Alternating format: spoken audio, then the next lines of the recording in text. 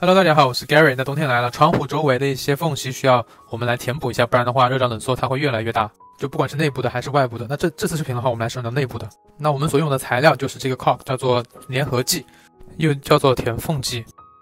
你买的时候，你就要注意它的说明书上一定要写的是颜色，你要选好相对应的颜色，还有它是不是作用于 window around，或者是它是不是只能适用于室内，或者只能用于室外，还是两者皆可，你都要好好看它的描述。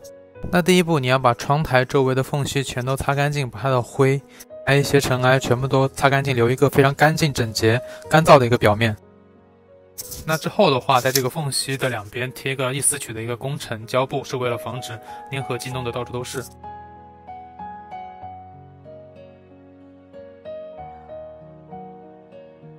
就当你熟练之后，你这个胶布就不用再贴了。因为到时候怕初学者的话到处乱挤，因为掌握不好不好那个力度，那个填充器的杠的那个力度的话，它就会飘的到处都是。那咱们就先用这个胶布把它弄开，然后再用剪刀把填充器的这个口给剪下来，一定要剪一个斜面，因为到时候你去涂涂的时候会沿着一个 corner 在涂，一个斜面的话会更好的冲进去。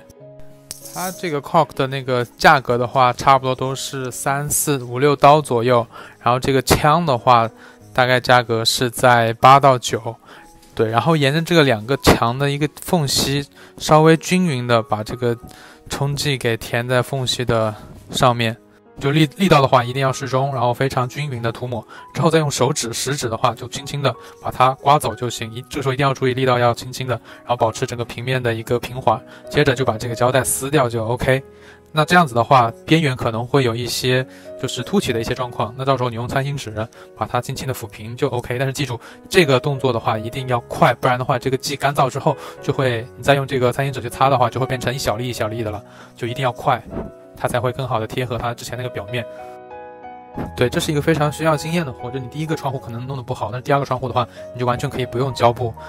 去帮助，就像这样子，就保持力道，缓缓的往下移。这样子去弄它，然后两边的话都不需要胶带了。现在，然后再用你的手食指缓缓的拉下来，就一定要非常平滑，你不要在意那些被挤出来的部分。到时候你用这个餐巾纸把它擦掉就行。唯一要注意就是你间隔的时间不能太长，不然的话你擦的过程中的话会留下很粗糙的一个表面。然后不要去碰它，大概静置一个晚上的话就差不多了。然后接下个视频的话，我们会讲怎么去更换外部的一个胶条，其实都差不多。对缝隙的填充还是很很有必要的，可以防止漏雨啊，然后帮助房子保温这样子。